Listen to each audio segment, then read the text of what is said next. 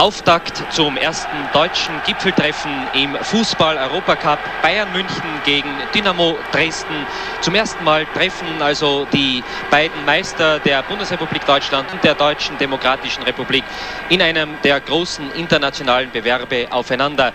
Bayern München in den ganz dunklen Dressen von links nach rechts spielend im Münchner Olympiastadion relativ enttäuschender Besuch. Ich würde sagen, nur etwa 45 bis 50.000 Zuseher. Man hat eigentlich ein volles Haus erwartet, aber vielleicht ist das Publikum aufgrund der schlechten Leistungen der Bayern doch etwas unzufrieden. Kopfball von Müller an die Stange. Das heißt über die Querlatte dann. Blitzschnell. Gerd Müller also schon in der ersten Minute seine Gefährlichkeit unter Beweis gestellt. Der Bomber der Nation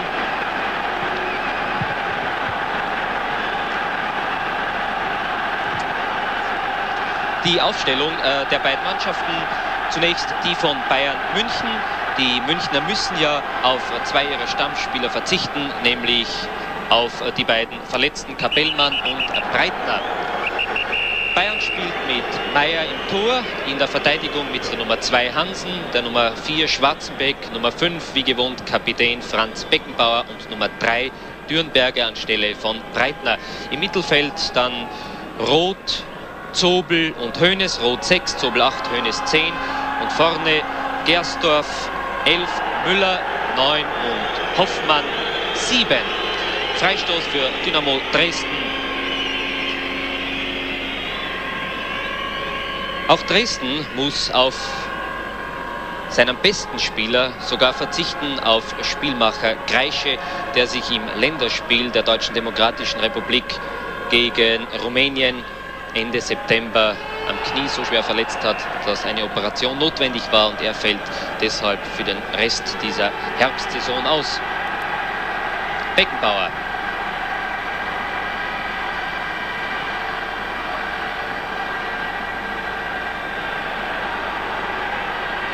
Hoeneß.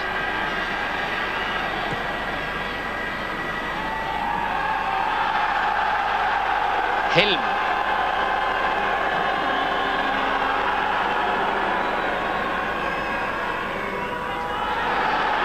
Fehler von Hansen. Hefner.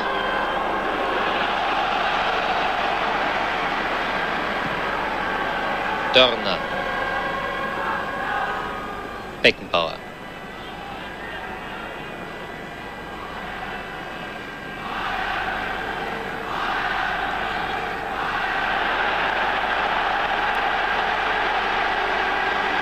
Gersdorf Gersdorf ist jener Mann, der im letzten Meisterschaftsspiel gegen Kaiserslautern ausgeschlossen wurde. Er wurde aber vom Deutschen Fußballbund nicht weitergemeldet an die UEFA und kann deshalb hier in diesem internationalen Spiel, in diesem Europacup-Spiel eingesetzt werden. Nun zur Aufstellung von Dynamo Dresden im Tor mit Boden, mit der Nummer 1 in der Verteidigung, mit Helm Nummer 8, Dörner Nummer 3, Geier Nummer 4 und Wetzlich Nummer 5.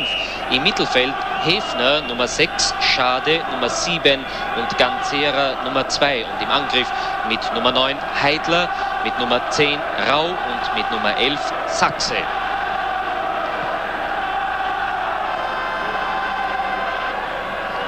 Heidler.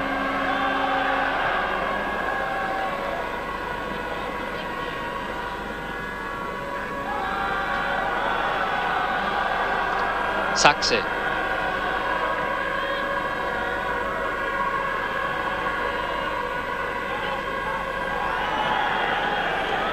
Schiedsrichter der Begegnung ist der Schotte Robert Holley Davidson.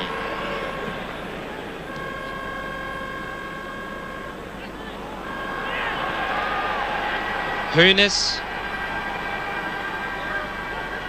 Schwarzenbeck, Beckenbauer. Dürnberger. Beckenbauer. Müller. Schiedsrichter Davidson zeigt Weiterspielen. Hefner. Rau.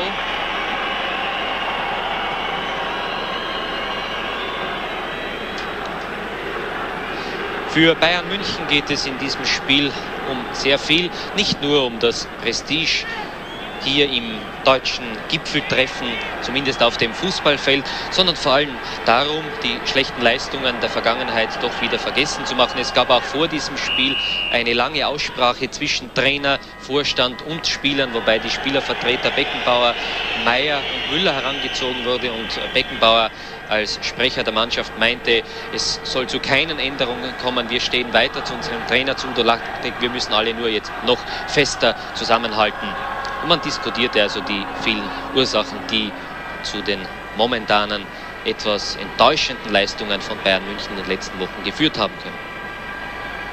Gersdorf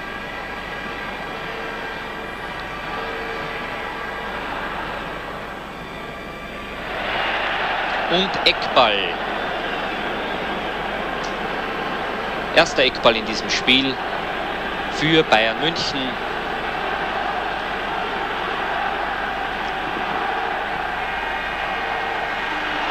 Und abgewehrt von Boden bei diesem Kopfball von Gerd Müller. Zum zweiten Mal war also Gerd Müller mit dem Kopf richtig zur Stelle und hat seine Gefährlichkeit unter Beweis gestellt. Gerd Müller hat auch im Europacup bereits sehr, sehr viele Tore erzielt. In 35 Spielen 34 Tore. Hoffmann, Beckenbauer.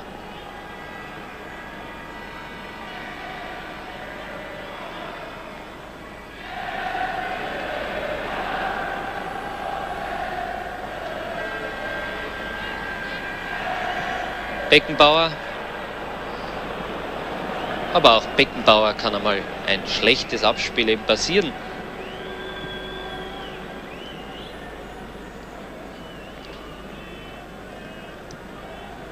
Torhüter Klaus Boden, 22 Jahre alt, einer der jüngeren Spieler in der Mannschaft des Meisters der Deutschen Demokratischen Republik.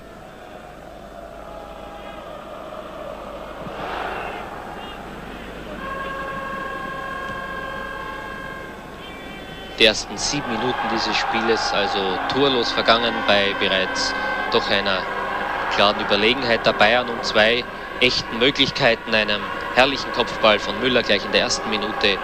Der Ball balancierte oben auf der Querlatte und dann ein Kopfball beim Eckball von Hönes, ebenfalls von Müller der Kopfball.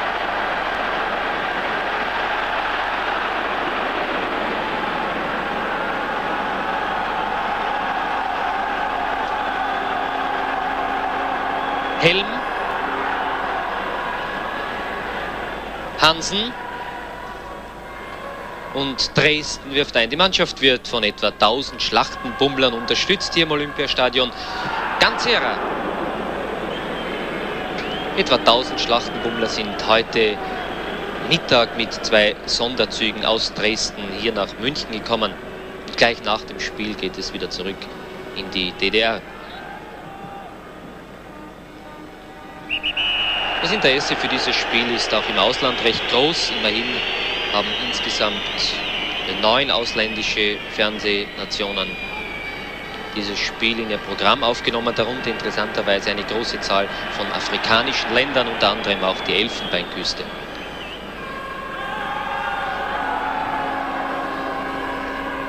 Schade.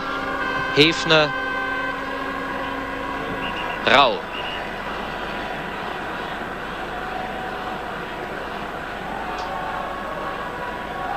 Freistoß für Dynamo Dresden.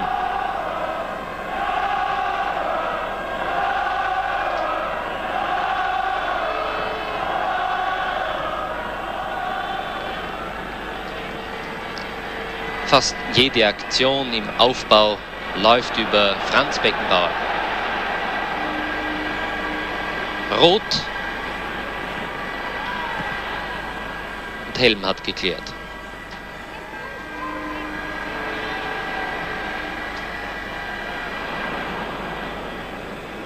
Torabstoß vom Tore der Dresdner. Momentan ist Dynamo Dresden in der Punktekampagne der Deutschen Demokratischen Republik auch nicht besonders günstig postiert. Nach den ersten Runden liegt die Mannschaft nur an sechster Stelle. ein ähnlicher Fall wie bei Bayern München. Die Bayern liegen jetzt an vierter Stelle.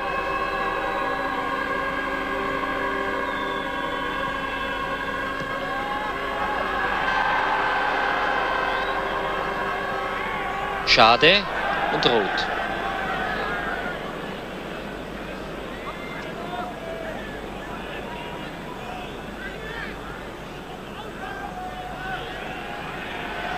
Schwarzenbeck.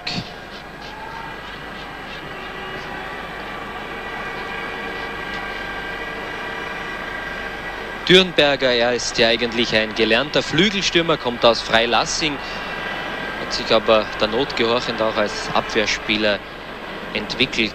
Der Not gehorchend, da eben mit Kapellmann und mit Breitner zwei Außenverteidiger durch Verletzungen ausgefallen sind. Beckenbauer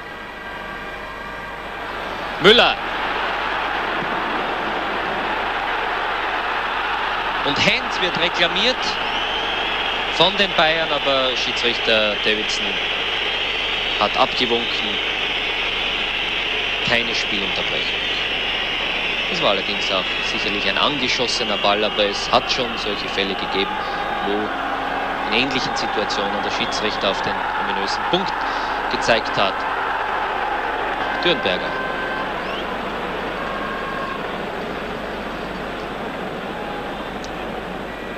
Schwarzenbeck. Fast wie ein Befehl, so sieht es aus für die anderen Spieler in der Abwehr. Jeder Ball über Beckenbauer. Geier. Eduard Geier. Helm. Rau.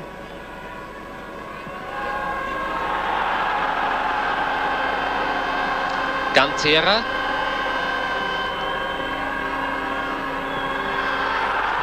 Und die große Möglichkeit, Tor 1 zu 0 für Dynamo Dresden. Sachse, Rainer Sachse mit der Nummer 11 war blitzschnell zur Stelle. Und ich glaube, Torhüter Meier war nicht sehr glücklich in dieser Aktion. Ganzera hat das sehr geschickt gemacht, hat allerdings dann den Ball weit zurückgespielt, sodass Meier keine besondere Möglichkeit gehabt hat zum Eingreifen. Vielleicht gibt es von diesem Tor eine Wiederholung. Jedenfalls eine kalte Dusche für Bayern München hier im Olympiastadion. Torschütze also links außen Sachse in der 13. Minute, ja, die ominöse 13. Minute wurde hier Bayern München im ersten Abschnitt dieses Spieles zweifellos also zum Verhängnis. Der Sachse, Sachse hat also eingeschossen. 1 zu 0 für Dynamo Dresden. Schön gemacht allerdings vom Spielmacher von Ganzera.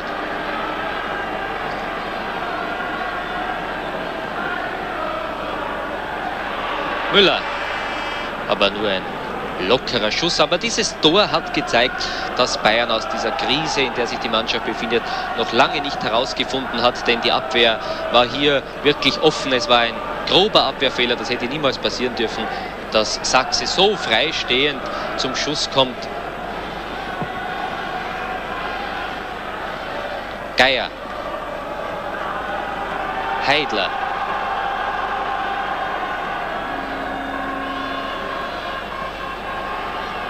Dörner. Schade. Hefner.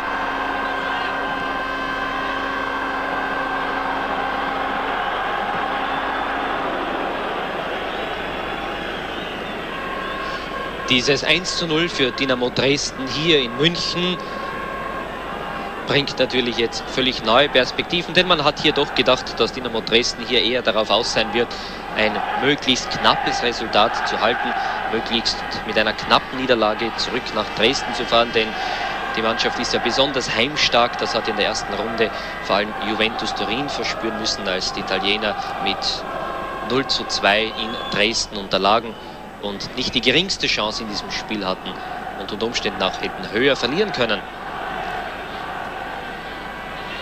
Rau, Hefner, Heidler,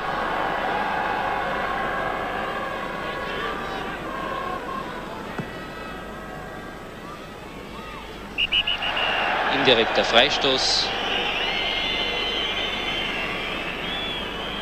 Uli Hoeneß.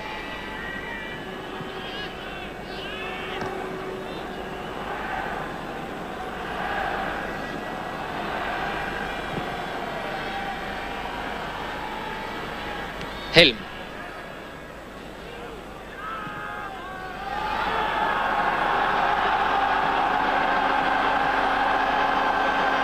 Hefner.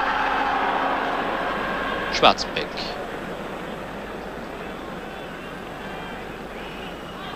Beckenbauer.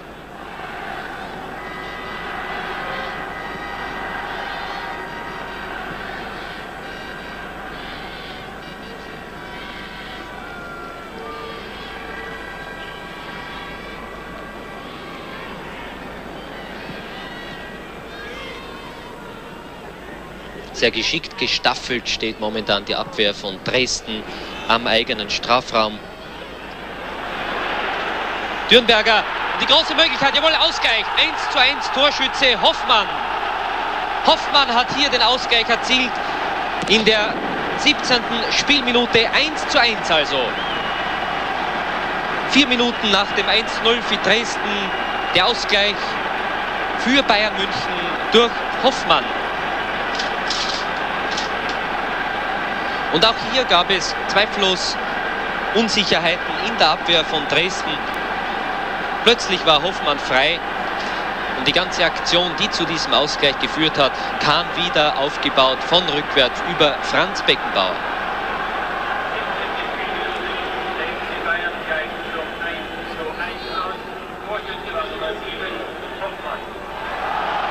Hefner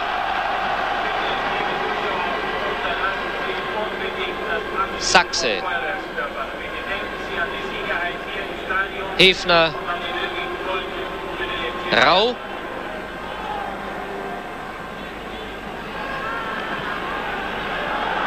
Und wieder Abwehrfehler. Heidler ist frei. Und Meier. Hoeneß. Hoeneß, jener Mann, der in den beiden Länderspielen der Bundesrepublik gegen Österreich und Frankreich zu den Besten seiner Mannschaft gezählt hat und jedes Mal einen enormen Radius im Spiel gehabt hat, viel Druck hinter die Aktionen gelegt hat und der jener Mann auch hier in der Bayern-Mannschaft ist, der zweifellos vielleicht der kraftvollste Spieler ist. Beckenbauer, er ist sicherlich, nicht nur sicherlich, er ist der eleganteste. Dürnberger, Beckenbauer. Hansen. Gersdorf. Hoffmann.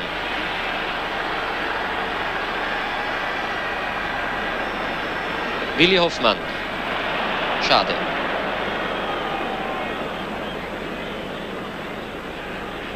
Geier.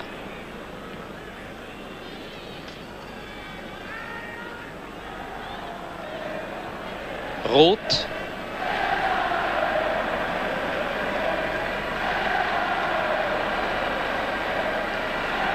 Beckenbauer,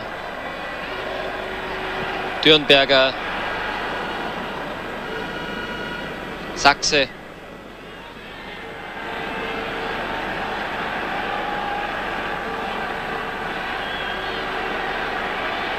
Hoeneß, Hoffmann,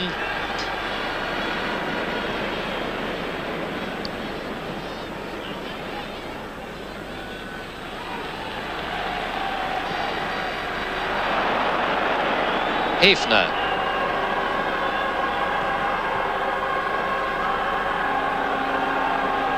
Rau.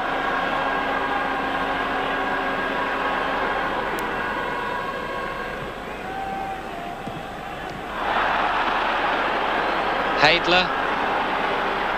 Heidler und Meier.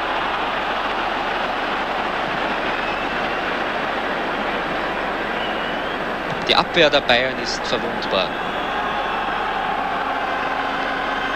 Hefner.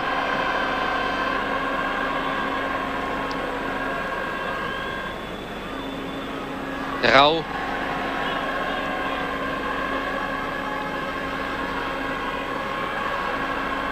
Schade.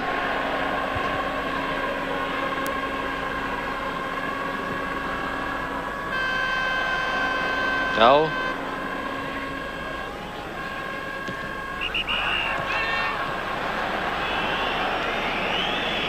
Hens hat Schiedsrichter Davidson entschieden. Gersdorf hatte den Ball mit der Hand weitergespielt.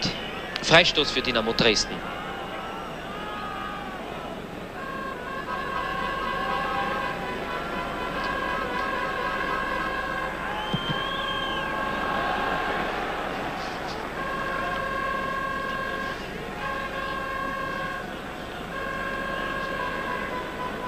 Schwarzenbeck.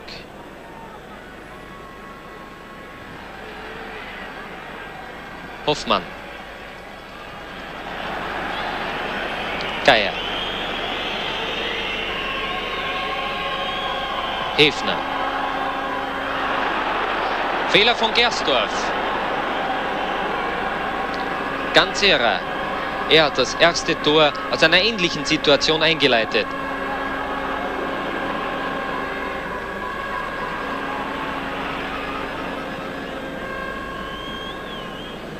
Einwurf für Dynamo Dresden. Hartmut Schade, ein 26-facher Jugendnationalspieler der DDR. Der jüngste Mann in der Mannschaft mit 18 Jahren. Schön gemacht von Ganzera und auch von Uli Hoeneß, aber es gibt Eckball. Eckball Nummer 1 für Dynamo Dresden, je ein Eckball bisher diesem Spiel.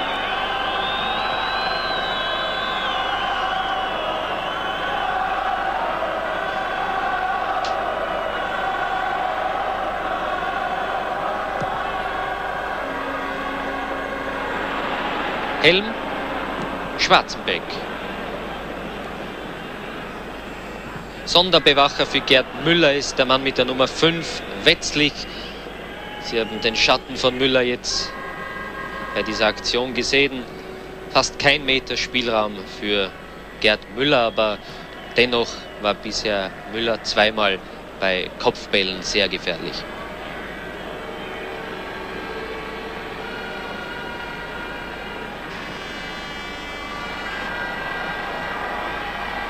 Schwarzenbeck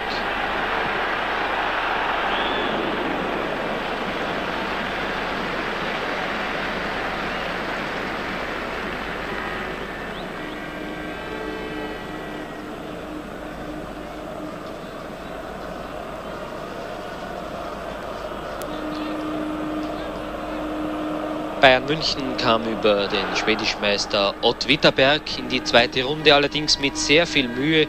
Es gab ein 3 zu 1 im ersten Spiel in München und ein 1 zu 3 im Rückspiel in Ott Witterberg. Und im Elfmeterschießen waren dann die Bayern die glücklicheren mit 5 zu 4. Haben sie dann dieses Elfmeterschießen gewonnen und sind eben jetzt in der zweiten Runde gegen Dynamo Dresden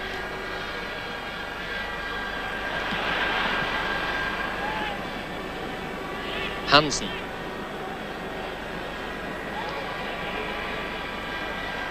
Zu steil. Ott Witterberg ist übrigens jene schwedische Mannschaft, bei der früher Ralf Edström und Roland Sandberg gespielt haben. Sie werden, meine Damen und Herren, diese beiden Spieler in eher unliebsamer Erinnerung haben, denn die beiden waren wohl die Hauptschuldigen dafür, dass Österreich wahrscheinlich bei der Weltmeisterschaftsendrunde nicht dabei sein wird. Die beiden waren die Stützen der Mannschaft, die uns in Göteborg im für uns wahrscheinlich entscheidenden Spiel mit 3 zu 2 besiegt haben. Allerdings gegen Bayern München waren beide nicht mehr dabei. Edström spielte inzwischen bei Eindhoven in Holland und Sandberg in der Bundesliga bei Kaiserslautern. Beckenbauer. Hansen.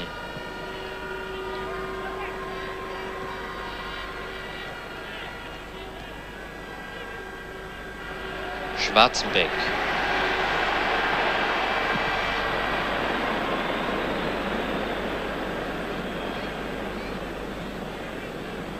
Aber man hat immer wieder so das Gefühl, man will in jeder Situation Beckenbauer anspielen und er, er sucht dann immer wieder Müller, aber Müller, wenn er zugedeckt wird von zwei, manchmal drei Spielern, dann kann er eben nicht so zum Zug kommen.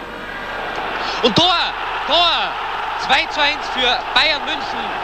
Torschütze war die Nummer 3 Dürnberger.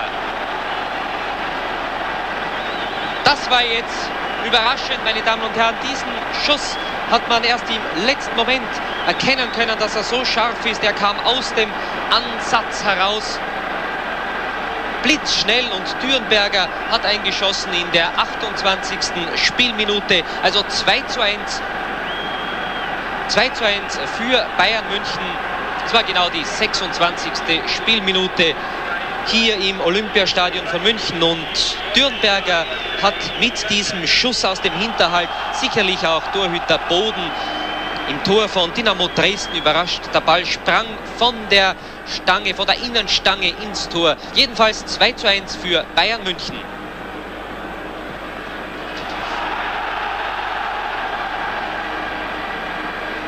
Hoeneß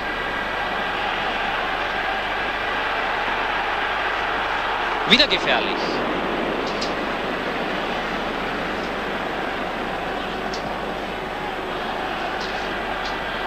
Schwarzenbeck. Dürnberger. Zobel.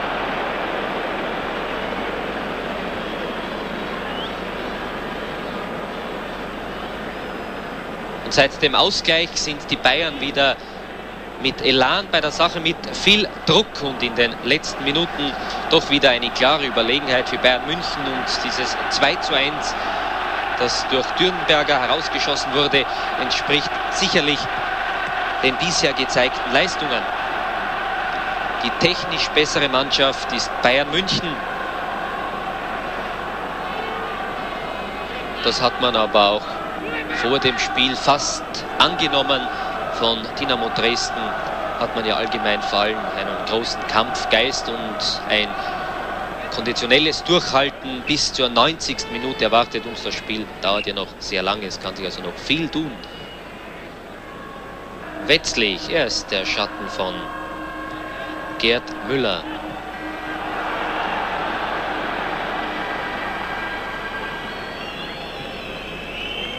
Boden Hefner.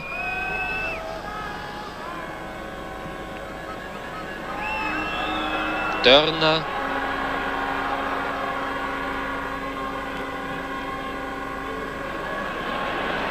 Hefner.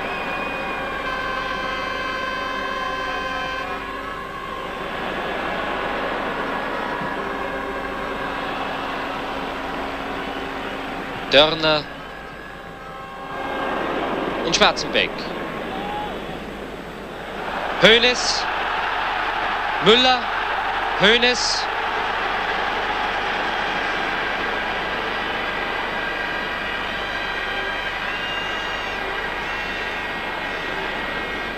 Noch immer Uli Hoeneß.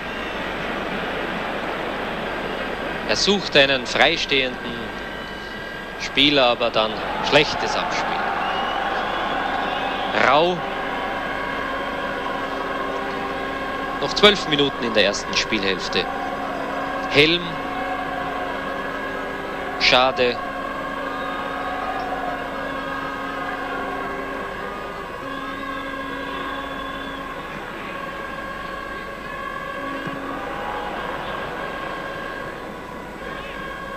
Dörner.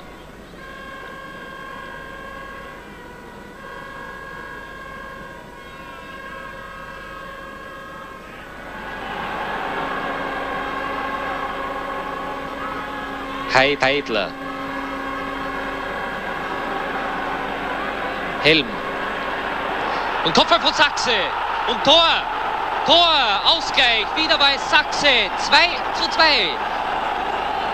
Das ist überraschend, dass Dynamo Dresden wieder nach dem 2 zu 1 der Bayern so schnell die Kraft gefunden hat, um hier den Ausgleich zu erzielen. Also ein etwas Überraschendes Resultat jetzt gegen Ende der ersten Spielhälfte. 2 zu 2 zwischen Bayern München und Dynamo Dresden.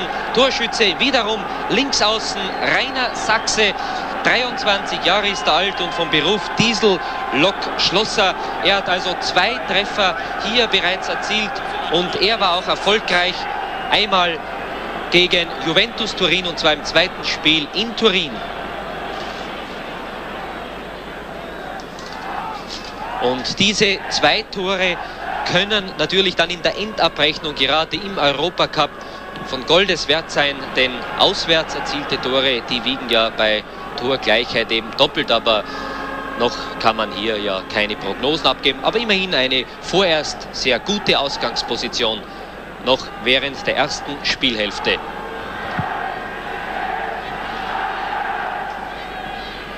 Hansen. Müller. Und abgewehrt dieser Schuss von Zobel von Torhüterboden.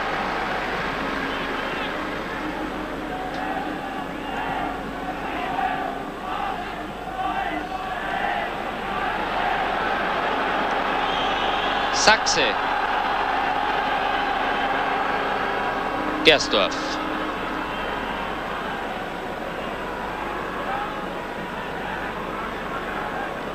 Schade.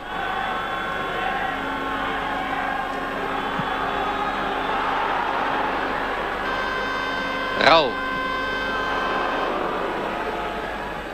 Hoeneß.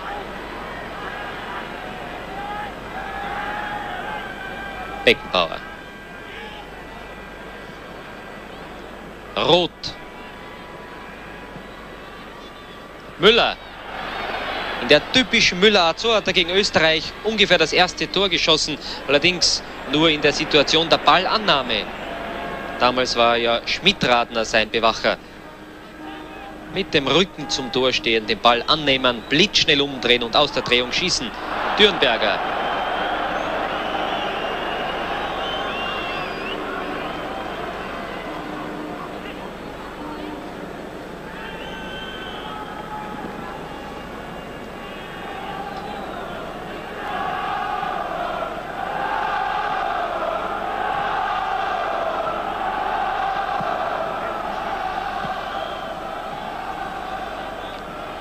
Schwarzenbeck, Hansen,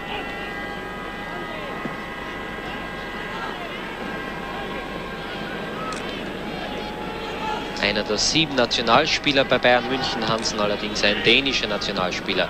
Beckenbauer, Müller, Beckenbauer. Der ärgert sich, aber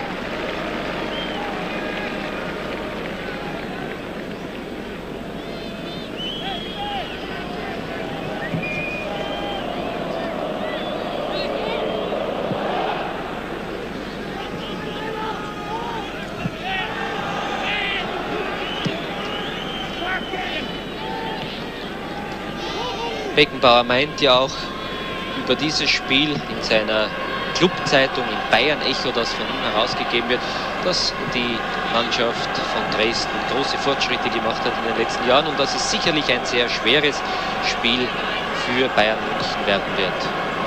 Und damit hat er auf alle Fälle recht gehabt, denn 2 zu 2 knapp vor Ende der ersten Spielhälfte, das ist ein Resultat, mit dem die Bayern hier sicherlich nicht gerechnet haben.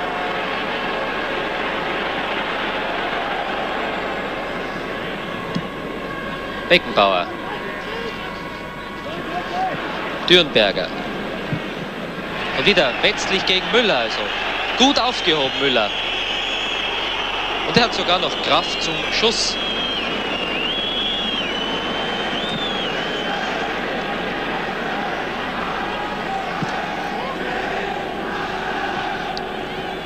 Hoffmann. Und dann Foul. Foul gegen Helm.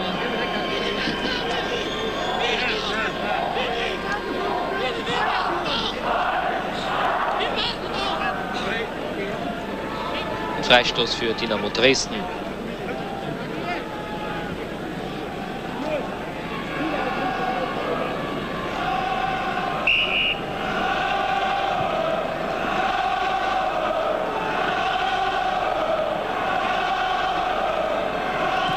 Geier.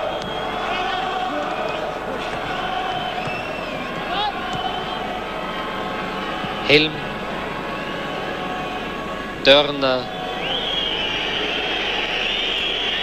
Dörner hat acht Monate nicht gespielt. Er erkrankte an Gelbsucht und ist jetzt erst 14 Tage wieder in der ersten Mannschaft von Dynamo Dresden. Wieder spielt man jetzt schon auf Zeit bei Dynamo Dresden, auf Ball halten.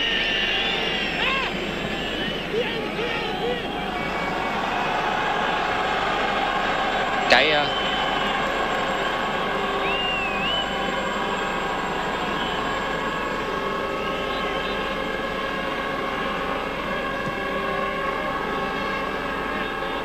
Es war kein weltbewegendes Spiel, das Dynamo Dresden hier geliefert hat vorerst, aber es war ein sehr zweckmäßiges Spiel und letzten Endes kommt es eben darauf an, mit welchen Mitteln man dann Erfolg hat. Und Dresden hat das hier sehr geschickt gemacht.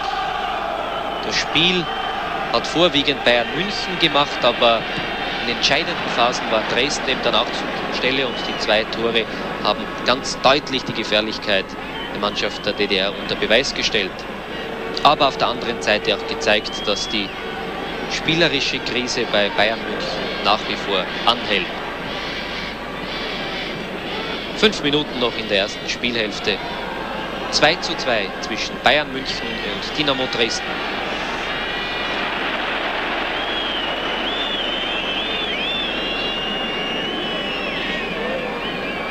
Häfner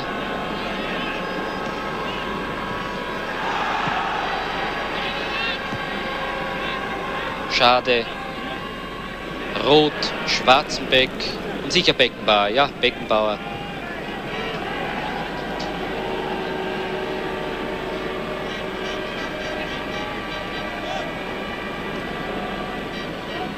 Schwarzenbeck. Aber jeder wartet. Und Rau.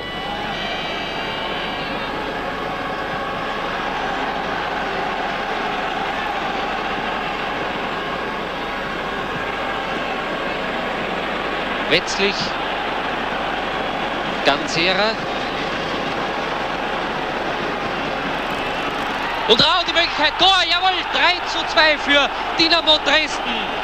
Heidler, der kleine Gerd Heidler, der Mann mit der Nummer 9, glaube ich, hat eingeschossen nach einem wunderbaren Abspiel wieder von Ganzera, dem Spielmacher von Dynamo Dresden, der das Spiel immer nach links hinaus verlagert, auf die linke Seite. Und immer wieder ist ein anderer Spieler von Dresden dann vorne als Spitze. Und dieses Rochieren der Sturmspitzen von Dynamo Dresden hat zweifellos die Abwehr von Bayern München durcheinander gebracht. Und 3 zu 2 für Dynamo Dresden jetzt zwei Minuten vor dem Ende der ersten Spielhälfte gegen Bayern München Torschütze Heidler, also zweimal Sachse und einmal Heidler waren die Torschützen für Dynamo Dresden. Hoffmann und Dürnberger bisher für Bayern München, also fünf Tore bereits in der ersten Spielhälfte. Müller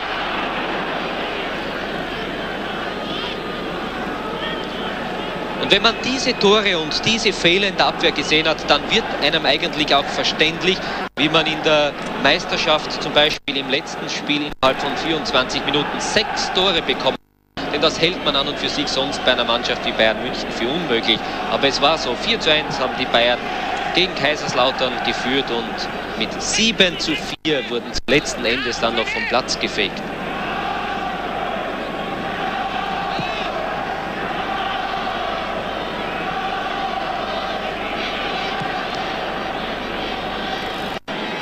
Boden.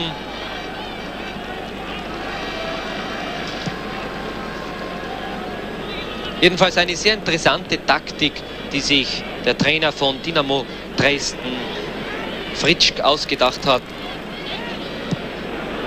Und das Spiel läuft dann in der entscheidenden Phase immer wieder über Spielmacher Ganzera, über Linksaußen. Und er spielt dann zu einem freistehenden Spiel in der Mitte ab und hier wechselt man sich so geschickt ab, dass die Bayern Abwehrspieler anscheinend hier nicht immer im richtigen Erfassen der Situation mitkommen. Sonst könnte es nicht so passieren, dass jedes Mal ein Spieler von Dynamo Dresden im Strafraum der Bayern so frei zum Schuss oder zum Kopfball kommen kann. Hoffmann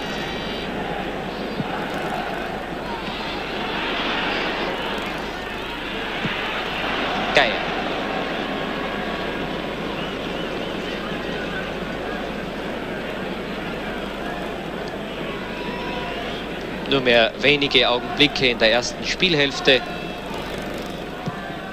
Dörner.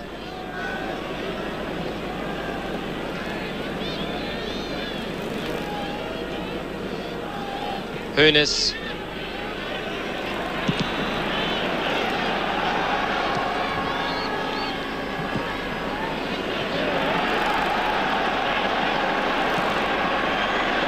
Helm modern spielender Außenverteidiger und Einwurf für Dresden. Jeden Augenblick muss der Pausenpfiff von Schiedsrichter Davidson erfolgen. 3 zu 2 führt Dynamo Dresden im Olympiastadion von München gegen Bayern München zum Ende der ersten Spielhälfte.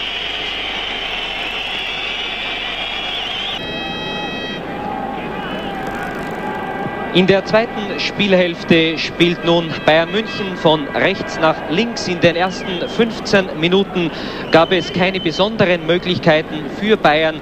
Dynamo Dresden hat den Ball zumeist geschickt in den eigenen Reihen gehalten und mehr als zwei Eckbälle haben für Bayern München bisher nicht herausgeschaut. Die Bayern haben ihre Mannschaft verändert und zwar spielt nun anstelle von Gersdorf mit der Nummer 13 der junge Mann Hadewitz, der erst in dieser Saison zu Bayern München gekommen ist, der von einem unterklassigen Verein ähnlich wie zum Beispiel Breitner, der allerdings heute wegen Verletzung nicht mit dabei ist, gekommen ist. Hoffmann,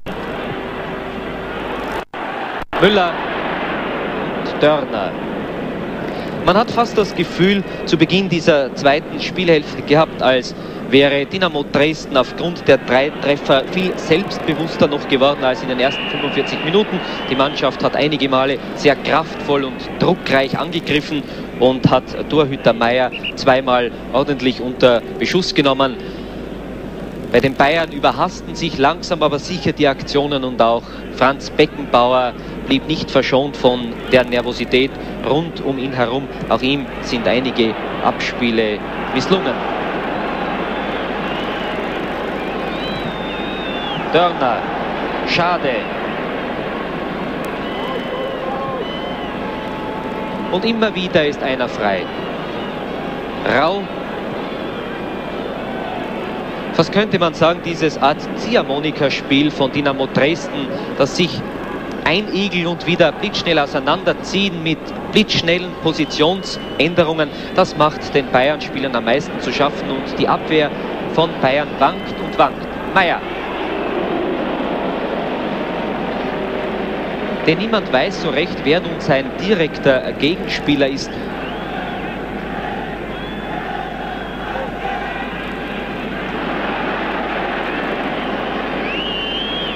Wetzlich, Schwarzbeck. Und kaum wird der Ball verloren, dann heißt es blitzschnell zurück, alle Mann in die eigene Hälfte. Müller und Hoffmann. Das kann kein Tor sein, das muss abseits sein. Muss natürlich abseits sein, denn Hoffmann stand ganz klar abseits. Schade, dass es keine Wiederholungen gibt, aber es war ganz eindeutig die Situation. Schiedsrichter Davidson hatte hier keine andere Wahl. Schiedsrichter Davidson hat übrigens schon vor vielen Jahren, es sind jetzt mittlerweile elf Jahre vergangen, ein Spiel von Bayern München geleitet, damals noch im Messestädte Cup, Tramcordia Dublin gegen Bayern München. Damals gab es keinen Bayern-Erfolg. Dublin gewann mit 1 zu 0.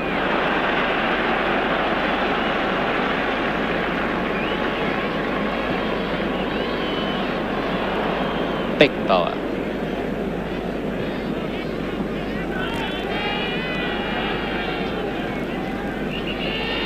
Am Boden, an der Outlinie scheint die Nummer 11, der zweifache Torschütze Sachse, momentan behandelt werden. Hansen.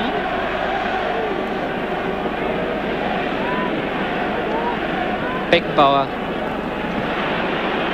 Immer wieder versucht man das Doppelpassspiel, aber das klappt heute nicht. Und Boden.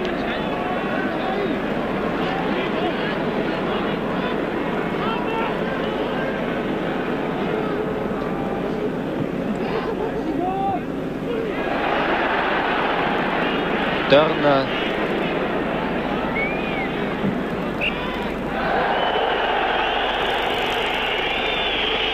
Das sind Mätzchen, die natürlich heute Spieler auch aus der DDR genauso kennen und können wie andere, wie Spieler aus Südamerika. Vielleicht haben sie es aber auch gelernt in Südamerika, denn die DDR war ja auf einer Südamerika-Tournee vor einigen Jahren, war damals sehr erfolgreich. Dann war es ziemlich still um den DDR-Fußball und in diesem Jahr, so scheint es zumindest, macht man wieder von sich reden, nicht nur mit der Nationalmannschaft, die bereits fast für die Endrunde der Fußball-Weltmeisterschaft qualifiziert ist, sondern auch in den europäischen Pokalbewerben sind alle Mannschaften der DDR in der ersten Runde weitergekommen. Schade, rau.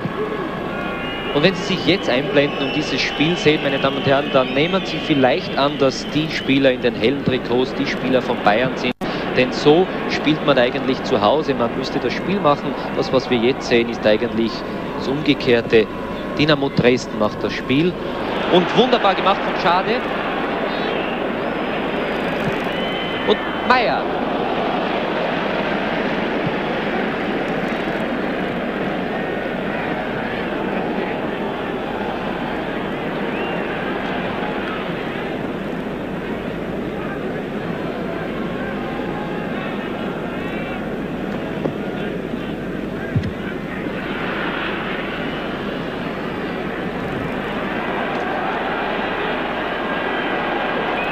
Sobel. Hönes. Hönes. Helm. Beckenbauer. Aber auch seine Schüsse aus der Etappe, die kommen heute nicht so, wie man sie sonst von ihm kennt. Er trifft momentan nicht einmal das Tor. Es ist ein sehr interessantes Spiel, das Spiel, das Dynamo Dresden hier zeigt. Ein unorthodoxes Spiel, ein Spiel einer Mannschaft, auf die man sich sicherlich sehr schwer einstellen kann. Und auch andere Mannschaften tun sich gegen diese Mannschaft schwer. Und ich glaube, dieses heutige Spiel, meine Damen und Herren, das macht uns erst klar, weshalb Juventus Turin ausgeschieden ist. Denn auch ich habe mir eigentlich gedacht, das war eine Überraschung. Aber ich glaube, mit diesem Spiel haben auch die Italiener zu große Probleme gehabt. Dieses blitzschnelle Wechseln der Aktionen und dieses mannschaftsdienliche Spiel. Hadewitz, Achtung, Hönes. Große Möglichkeit für Hönes. Wieder Hönes.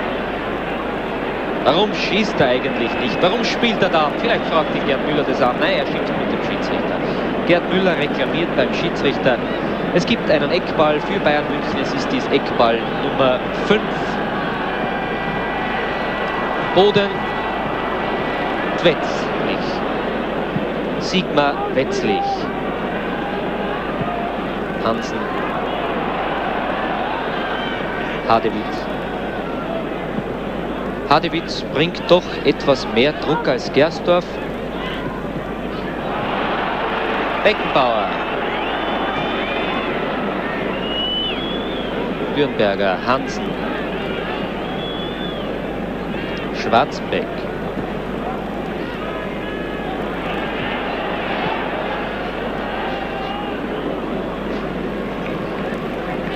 Und das Geheimnis des vorläufigen Erfolges liegt sicherlich auch in der Tatsache, dass hier eine Mannschaft mit elf Spielern am Werke ist, ohne Stars, ohne besondere Schlüsselspieler, auf die das Spiel einzig und allein zugeschnitten ist. Das Gegenteil auf der anderen Seite, alles läuft über Beckenbauer, Hoeneß und Müller. Und diese Spieler kann man einfach dann viel leichter ausschalten. Müller wird von Wetzlich bisher ganz ausgezeichnet beschattet, macht wenig Stich und auch Hoeneß macht nicht jenes Spiel, das man erwartet. Wetzlich Vielleicht sind es bei Uli Hoeneß doch noch die Nachwirkungen einer Grippe, die er erst überstanden hat, sicherlich mit Hilfe von Spritzen. Denn anders wäre es kaum möglich gewesen, da vor zwei Tagen noch mit relativ hohem Fieber im Trainingslager in Rottach-Egern im Bett lag. Aber wen hätte Lattek anstelle von Hoeneß aufstellen sollen?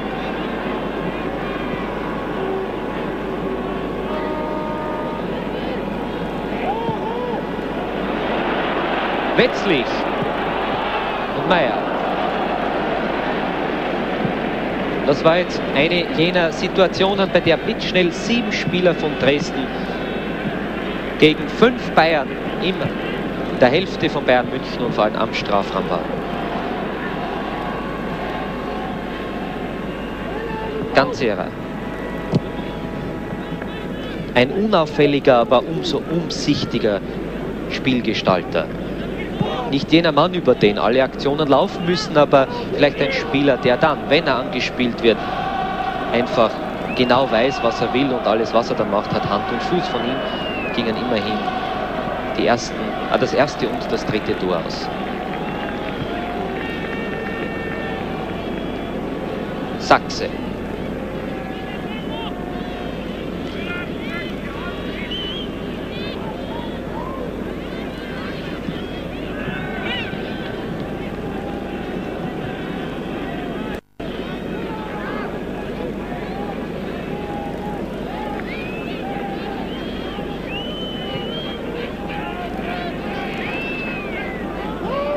Meier.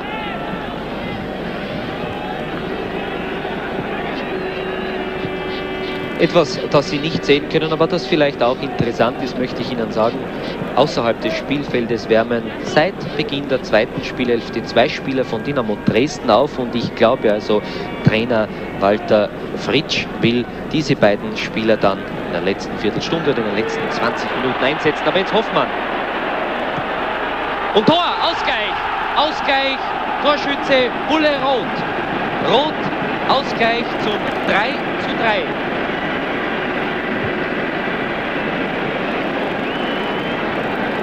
Ja, endlich hat es einmal geklappt und Rot hat für Bayern ja schon sehr wichtige Tore geschossen. Sein wichtigstes seinerzeit im Finale des Europapokals, der Pokalsieger gegen Glasgow. 27. Spielminute, Ausgleich zum 3 zu 3.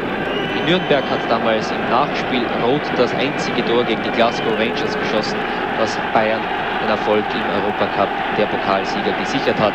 Also im Pokalsiegerbewerb war Bayern erfolgreich. Im Meistercup hingegen waren die Bayern bisher immer nicht sehr erfolgreich, denn im ersten Jahr, wo sie dabei waren, sind sie ja gegen die französische Mannschaft Saint-Étienne schon in der ersten Runde ausgeschieden. Geier, Fehlschuss. Beim ersten Mal also schon an Saint-Étienne gescheitert in der ersten Runde. Beim zweiten Mal in der vorigen Saison gab es wohl Erfolge in den ersten beiden Runden gegen relativ schwache Gegner, gegen Galatasaray Istanbul und gegen Omonia Nicosia. Dann in der dritten Runde die erwartete Kraftprobe Bayern München gegen Ajax Amsterdam und nach dem 0 zu 4 in Amsterdam bereits das vorzeitige Out, da half auch der Sieg, der knappe Sieg im Rückspiel in München nichts mehr als auch im, im zweiten Jahr ausgeschieden. Und nach heuer also Mühe in der ersten Runde gegen Ott Witterberg und hier, Sie sehen es ja selbst, bisher größte Probleme gegen Dynamo Dresden. Hadewitz Dürnberger.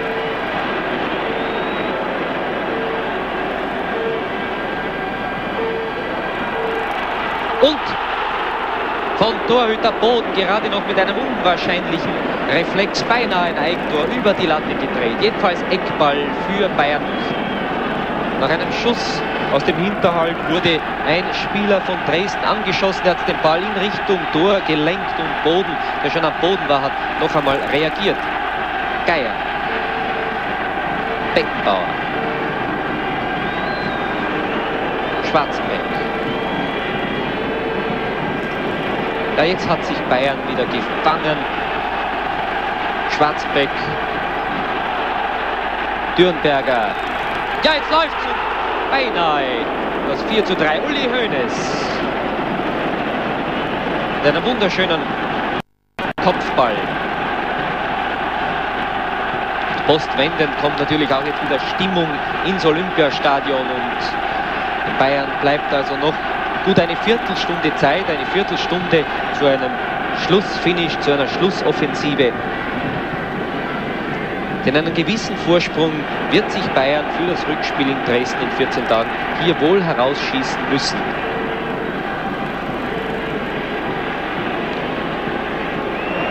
Hefner Beckenbauer, Hefner.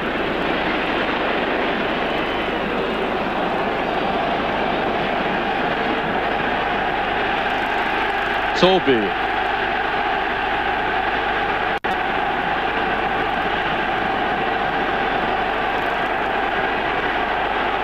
Boden, gut gemacht gegen Hadewitz.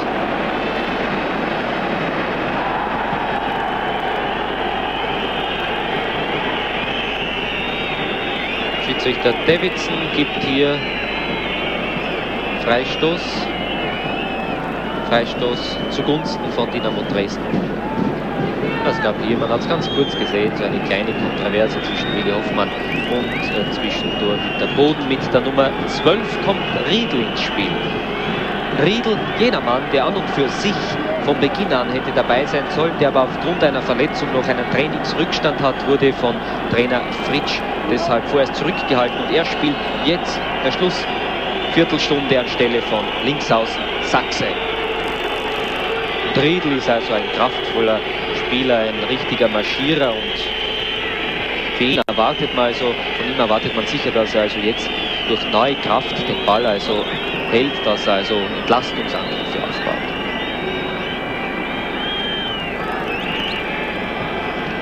Der hat sich ja auch lange genug aufwärmen können, eine halbe Stunde praktisch.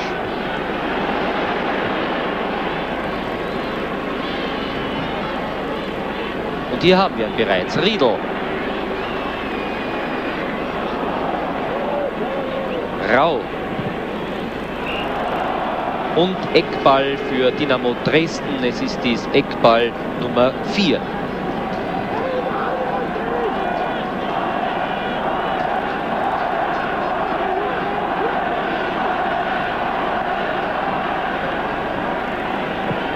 Heidler. Bayern wird also sicherlich gewinnen wollen, allein schon deshalb, um Präsident Wilhelm Neudecker ein Geburtstagsgeschenk zu präsentieren. Der langjährige Präsident von FC Bayern München, Wilhelm, wurde nämlich heute 60 Jahre alt und ihm wäre es also wohl das größte Geburtstagsgeschenk. Er steht Bayern München schon seit dem Jahr 1962 als Präsident vor und hat sicherlich schon alle Höhen, aber auch einige Tiefen dieser Mannschaft mitgemacht.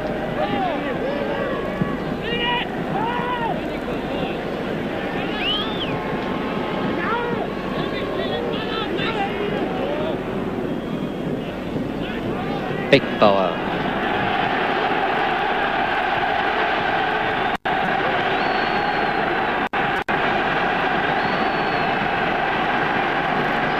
Dürnberger, Hönes, Müller, Müller.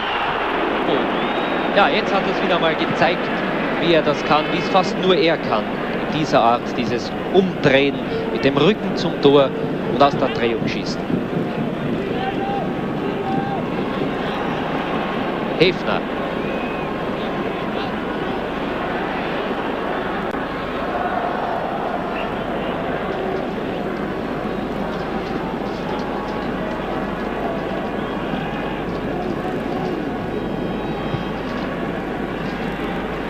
Fünfter Eckball für Dynamo Dresden.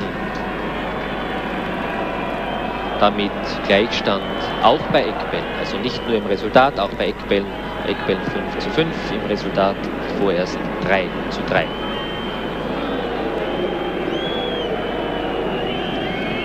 Der Prestigekampf der beiden deutschen Fußballmeister steht also vorerst unentschieden, aber ein Unentschieden mit klaren Vorteilen für Dynamo Dresden, Vorteilen insofern, da eben Dresden ja hier in München spielen muss heute und wer auswärts gegen Bayern München ein Unentschieden hält, der kann sich fast als eine Art Sieger fühlen.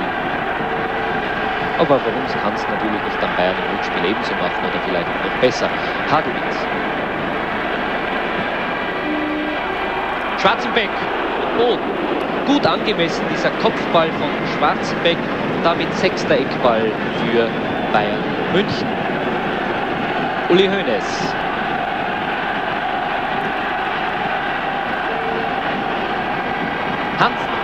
Boden. Ah, jetzt tut sich viel im Strafraum.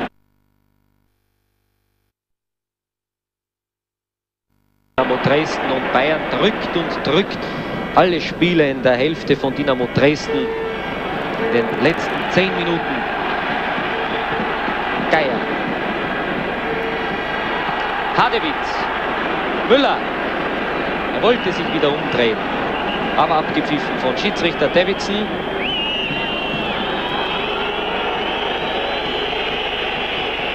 Nummer 5, Wetzlich. Ja, das ist der Bewacher von Müller, liegt am Boden. Vielleicht hat ihm Gerd Müller mit dem Ellbogen kleines Reiberl erteilt, wie er sich umgedreht hat.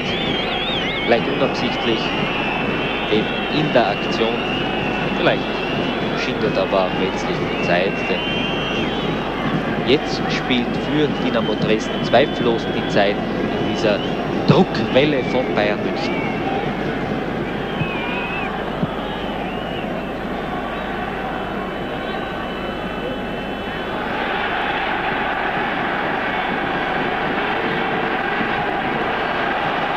Rot.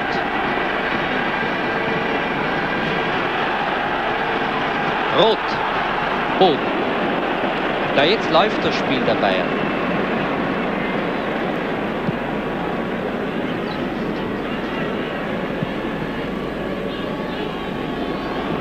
Aber dennoch das, was eine große deutsche Zeitung in ihrer Schlagzeile gesagt hat, auf dieses Spiel haben wir 25 Jahre lang gewartet.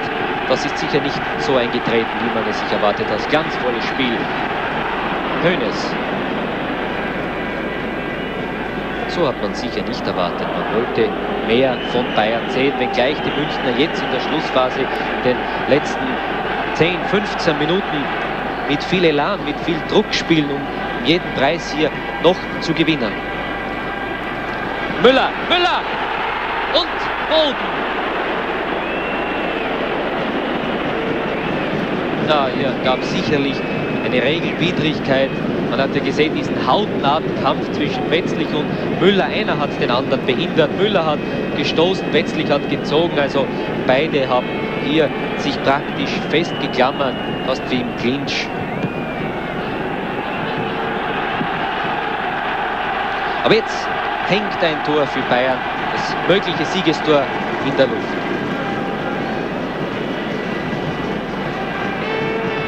Also eindeutige Überlegenheit von Bayern jetzt in der Schlussviertelstunde.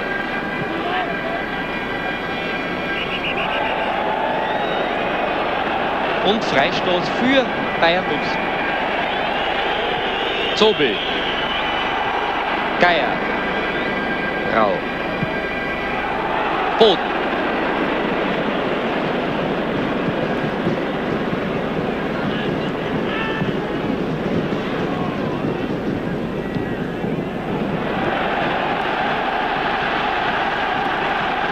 Dürnberger, Zobel. Und Tor, Tor!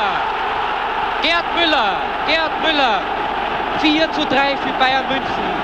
Endlich also auch Gerd Müller in letzter Sekunde fast, wenige Minuten vor Schluss zu spielen, nur etwa 5, 6 Minuten noch hier im Olympiastadion und Gerd Müller hat hier eine Unachtsamkeit von der Abwehr Dynamo Dresdens ausgenützt zum 4 zu 3. Ja, sieben Minuten noch zu spielen und Bayern München führt mit 4 zu 3 gegen Dynamo Dresden.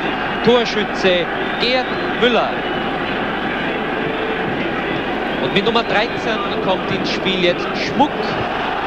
Schmuck ins Spiel bei Dynamo Dresden. Für die letzten Minuten aus dem Spiel die Nummer 10 Rau.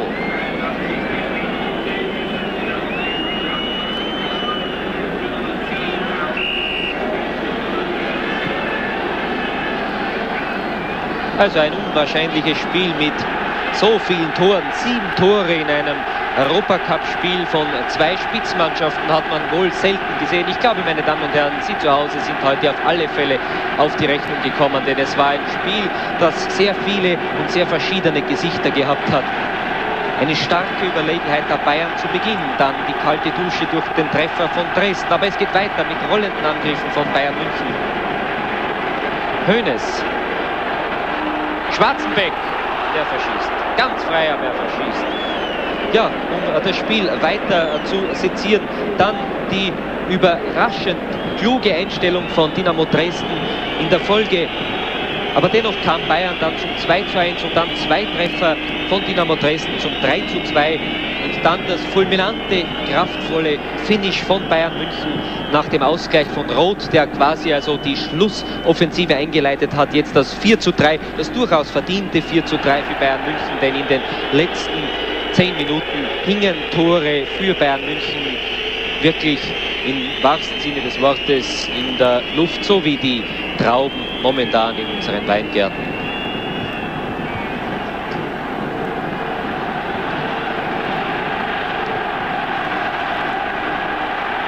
Boden. Hönes. Und Boden. Er hat jetzt alle Hände voll zu tun. Und tatsächlich hat also Trainer Fritsch die beiden Spieler, die sich vom Beginn der zweiten Spielhälfte an aufgewärmt haben, eingesetzt.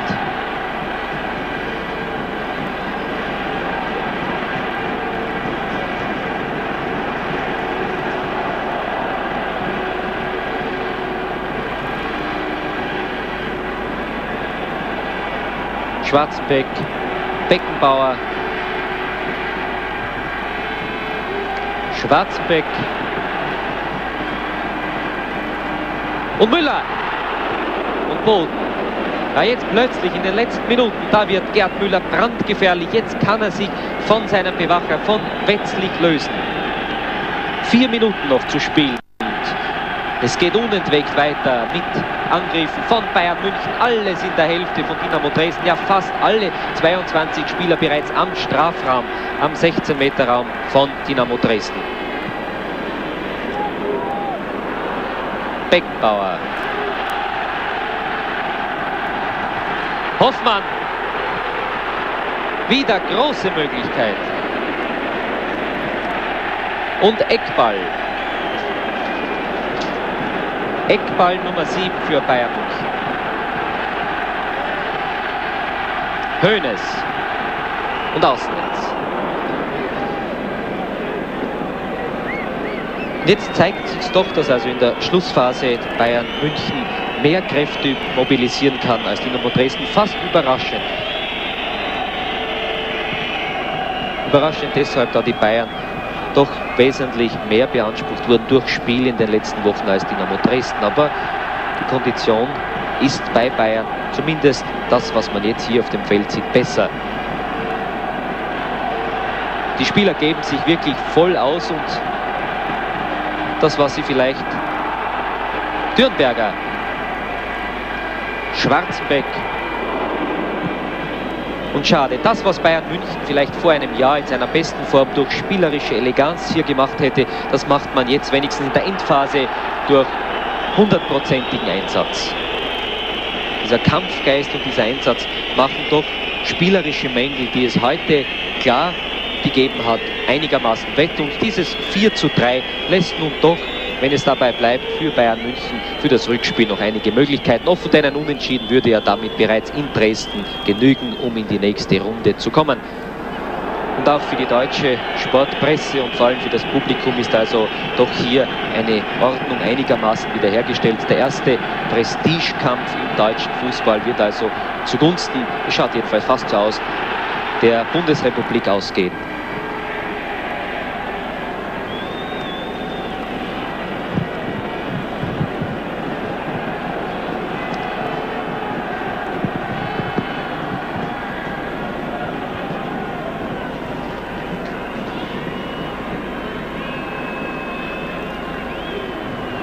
Aber drei Auswärtstore sind für Bayern doch eine schwere Hypothek, denn ein 1 zu 0 von Dresden wäre wiederum für Dresden bereits im Rückspiel genug.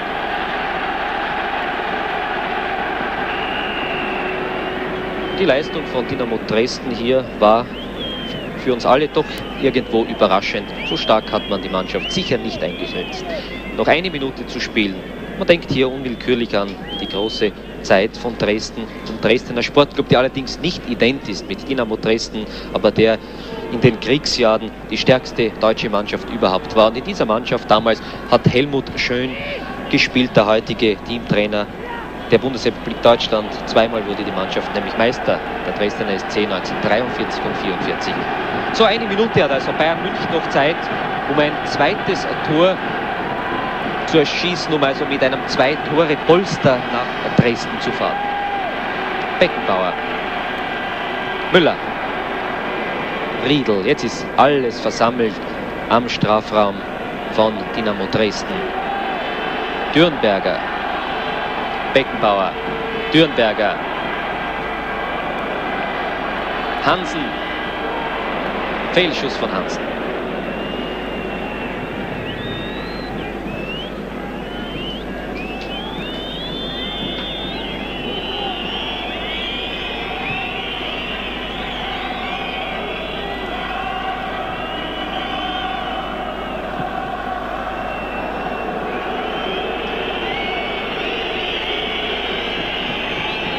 Hansen,